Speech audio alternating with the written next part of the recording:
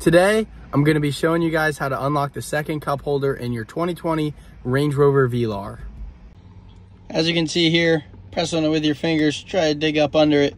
It won't really come up. Little Land Rover button right here, give it a press. Now voila, you have one, two cup holders.